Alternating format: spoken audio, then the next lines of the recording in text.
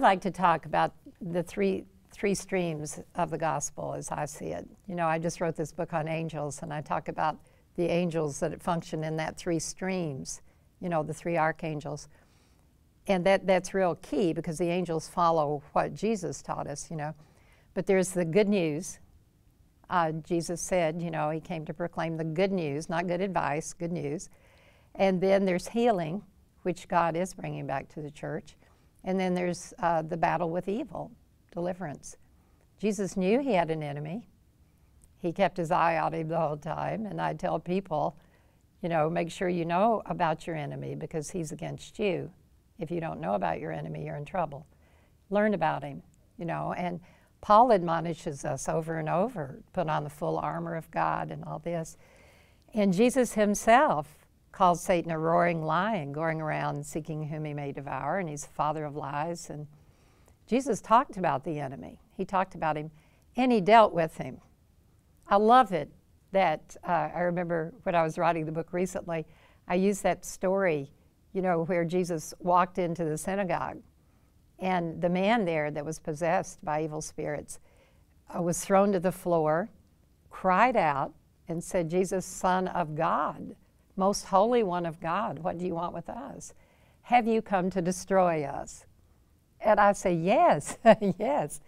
But the very presence of Jesus coming in, this man went through a deliverance without even a direct confrontation, unlike some of the other stories of deliverance, like with the pigs and the man outside the village.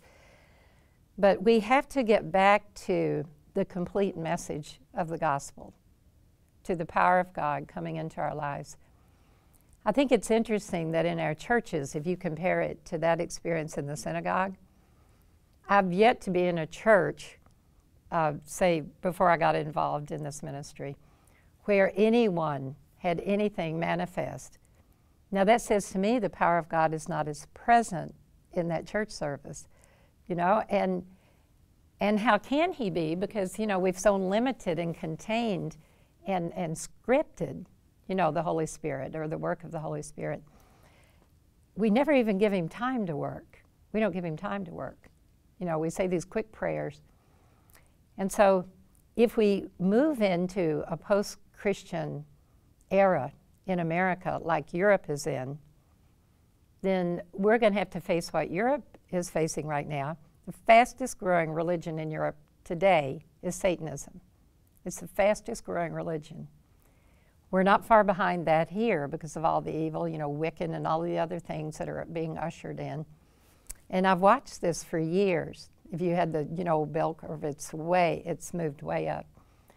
So it's, it's that old sticking your head in the sand and ignoring this tremendous evil power out there that is out to destroy us. And our young people are being especially influenced now and the, the enemy is not dealt with with simple prayers. He's not dealt with without the power of the Holy Spirit. We really have to know the enemy, we have to know how to pray against him.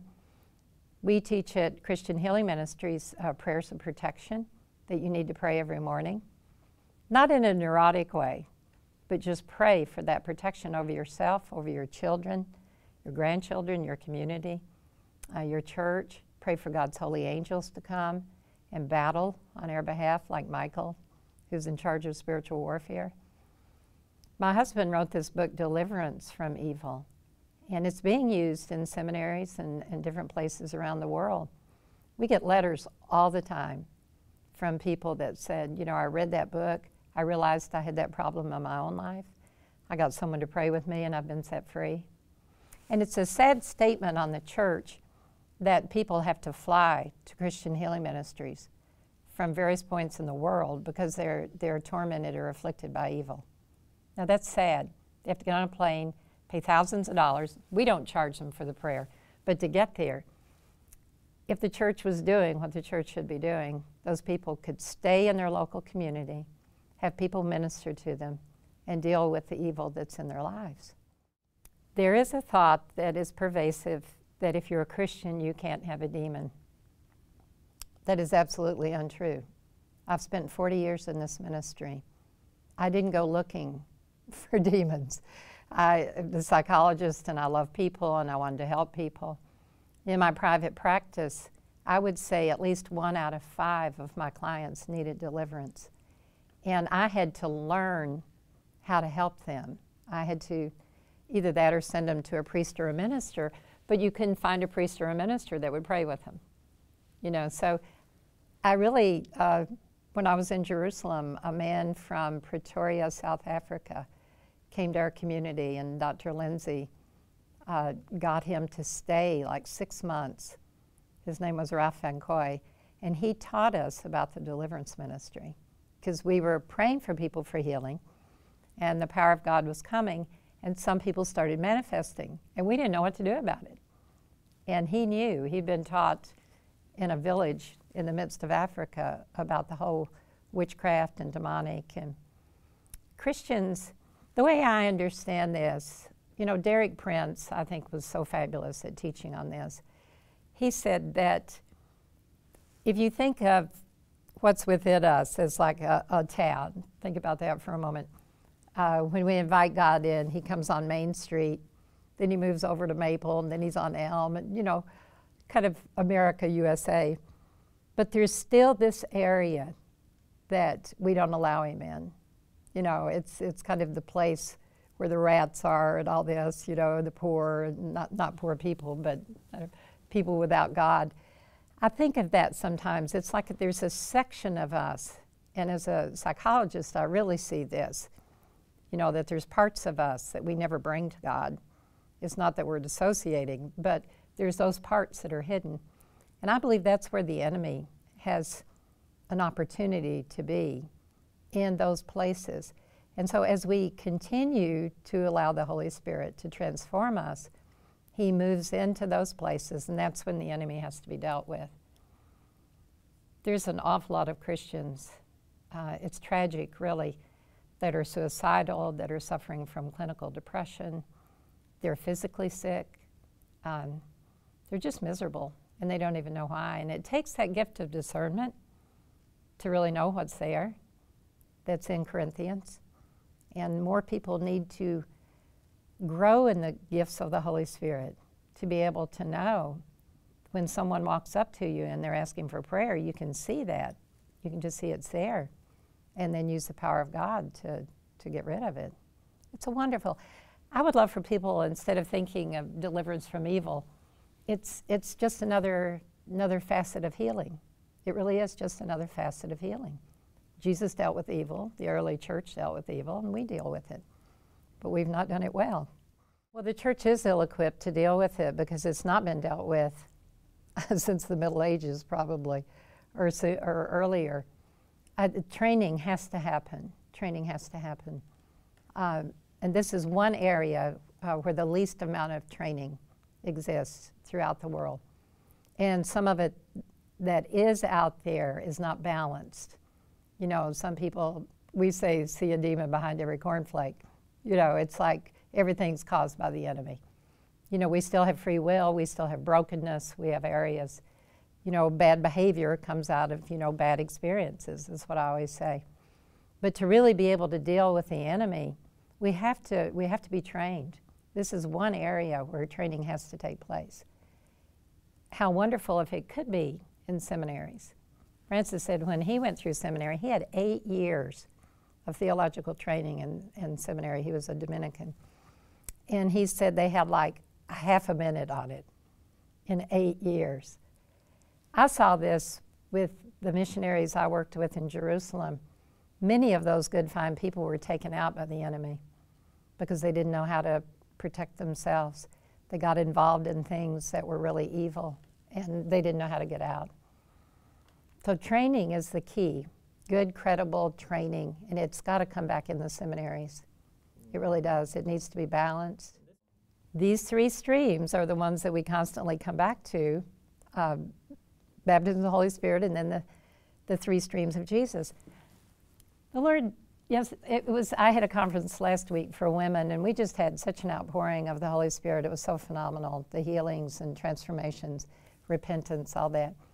But the Lord, in my prayer time, He asked me right before I went, He said, I think this is the question for the church Do you believe me or not?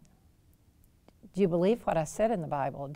That is, you, I know people that would die for the Bible. I mean, I know they, they would be scalded alive to protect the Bible, but yet they don't believe everything that's in it because it's not been taught to them.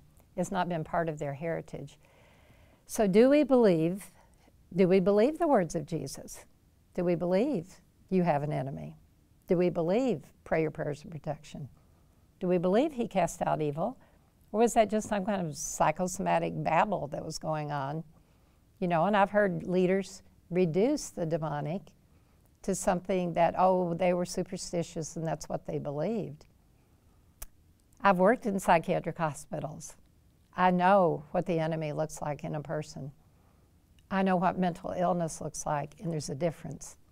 You know, and I've worked with Christian leaders that have gotten into some real evil, and they don't know where to go. They have nowhere to turn to get out of it.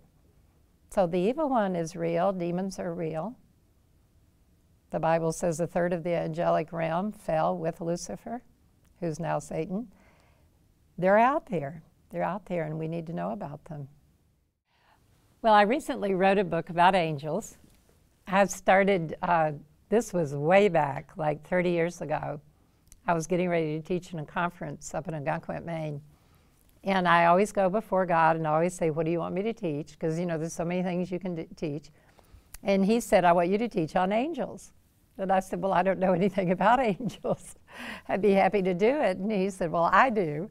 And at that time, there was one book out. It was Billy Graham's. That was it. And of course, I didn't have it. I was in Maine. But I went to the Bible and I started, and I realized angels are mentioned more than 300 times. They're from Genesis to Revelation. They're very active and they're incredible. And so, anyway, 15 years ago, he asked me if I would write a book about it, and I just couldn't do it. I didn't have time. We were traveling, and I had two small children and a ministry.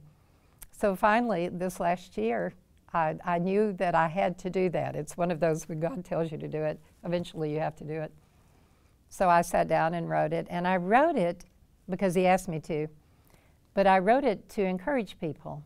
Because, you know, if we talk about evil, we want to always balance that out and talk about all the good in God's kingdom.